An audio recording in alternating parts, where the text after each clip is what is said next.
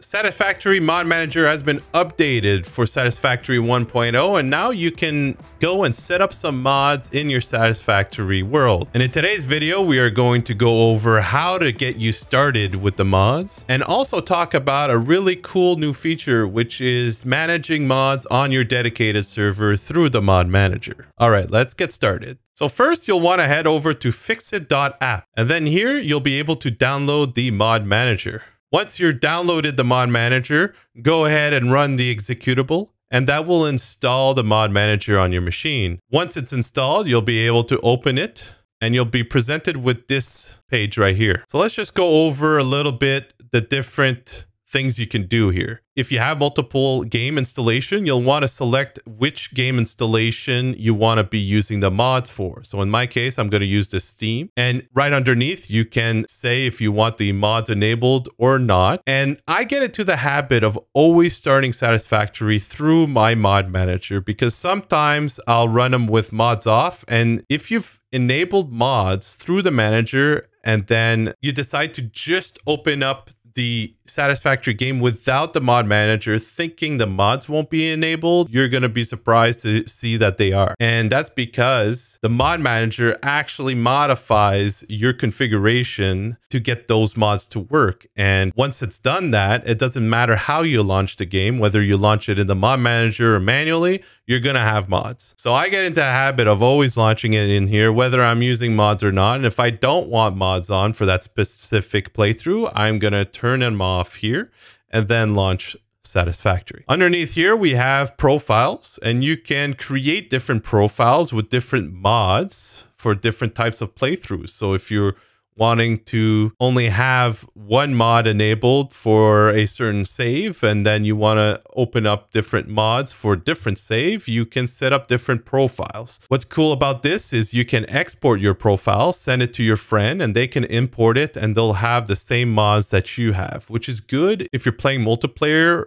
connecting to each other's world, you'll need to have the same mods enabled. Underneath there is just things that you can do to update. So you might want to occasionally check for updates. It should do it automatically when you open up the satisfactory mod manager but in the cases where you know you leave this open i would run this every once in a while and there's some useful links down here like the modding discord that i suggest you join if you have any sort of issues with any mods or the manager itself there's a lot of helpful links there and people are always willing to help which is a great community for that. So how do we install mods? Well, first, you up here, you have a way to search for a mod name. So for instance, I know that I want to install Sky UI, only I would have to type that properly. And here it is. And I could click it, get some information on this, and then I can go ahead and hit the play button here. And this is going to go ahead and download and install the mod for me. Now, it's already downloaded it beforehand, so this is why I didn't download it, but it did enable it. Now, if I wanted to disable just one of the mods, before playing, I could just hit this pause button here. And then if I were to launch Satisfactory, it won't have this mod enabled, but I'm going to re-enable it for now. You can close this pane here at any point by going down here and closing it. Now, other ways you could search for mods over here on the right, you can hit by popularity, but you can also change things like last updated. So here you get the list of all the ones that were updated recently, which is good right now because right now is when this would be the most useful, I would argue. Especially since if you go to something like the most downloads, you'll see a whole bunch of red here. And red means that the mod hasn't been updated and most likely is not compatible. You'll also see some yellow from time to time. And yellow means that there might be portions of it that are broken or that they're not sure that it's broken, but could be. What you could do too is see over here, you can filter by things like installed. And you can see here that I do have some here that come from previous. Next, let's talk about dedicated servers. And speaking of dedicated servers, today's sponsor is EVL Box. EVL Box is a hosting company I personally use. They offer a multitude of services, including virtual private servers, dedicated servers, website hosting, and Discord bots. And I've been using EVL Box for the last six months for my community server. And I can tell you by far that they are the best hosting company for Satisfactory that I've used so far.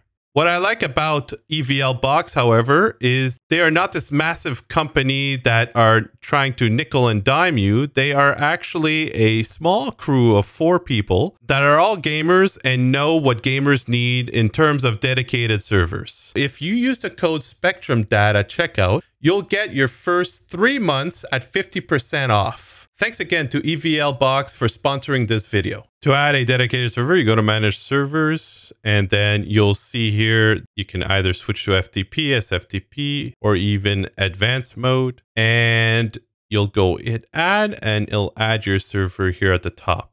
And then after that, you'll want to go to select the game installation and then you'll choose your server here. And then you'll notice that some of your mods might not work on your server and that's okay. In this case, we are going to pause that mod from going on that server and we will send this guy.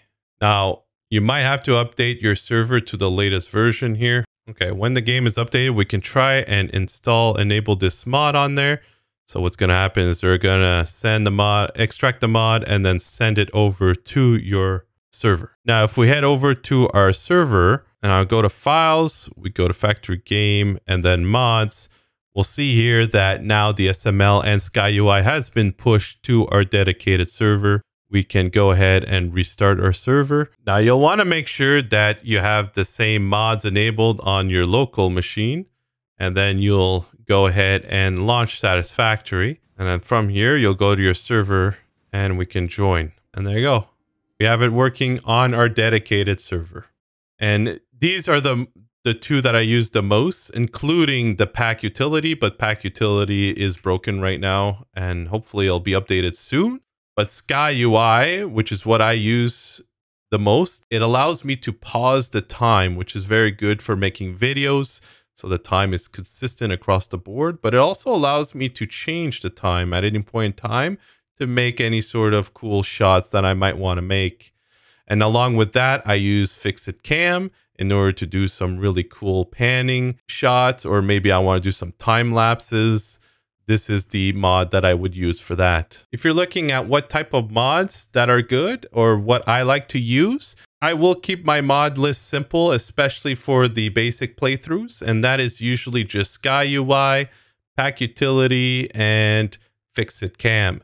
And these are all for content creation purposes. But if I like to go a little bit wilder for some other playthroughs, I will usually use something like Smart, which allows you to do all sorts of fancy things like manifolds that like manually, automatically extend manifolds to include the splitters and the belts already piped, which is a really cool way of doing it. Satisfactory Plus. This mod pretty much overhauls the entire Satisfactory game.